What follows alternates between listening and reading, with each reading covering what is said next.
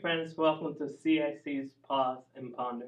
My name is BX, a youth and young adults pastor. Today we're pausing to ponder on Exodus 3, verses 11 to 12 and 14 and 15. It reads like this But Moses said to God, Who am I that I should go to Pharaoh and that I should bring the sons of Israel out of Egypt?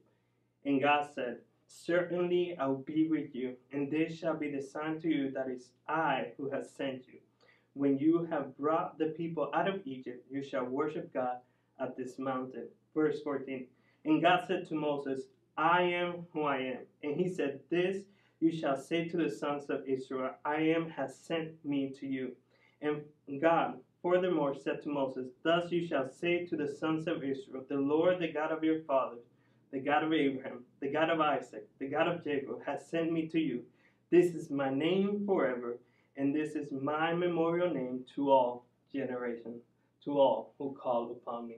God was calling Moses out of the desert to go to Egypt. After Moses had fled from Egypt to save his life, he was taking care of sheep for 40 years in the desert. You see, Moses might have felt like he knew who he was when he was in Egypt as a prince, as a, as a Hebrew.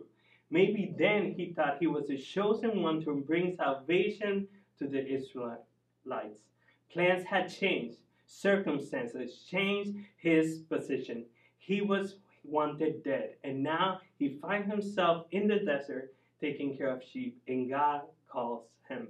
God calls Moses, and he says, Moses says, Who am I?